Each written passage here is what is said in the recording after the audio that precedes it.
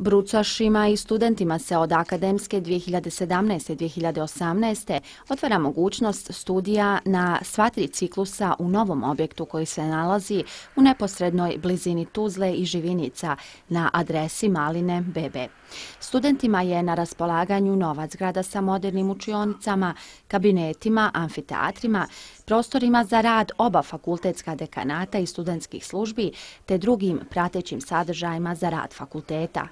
Očekuje se da Ministarstvo obrazovanja, nauke, kulture i sporta Tuzlanskog kantona odobri upis za 120 studenta na pravni fakultet i isto toliko na fakultet za menadžment i poslovnu ekonomiju. Čuli ste kako su ocjenu dobili. Drugi po rangu u Bosni i Hercegovini, to je činjenično stanje. To se nudi.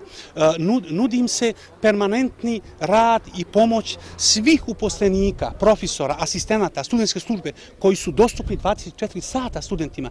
To je, to je novi način rada Iz univerziteta poručuju da je u planu da u Živinicama otvore kampus u kojem će studenti moći da studiraju po savremenim standardima.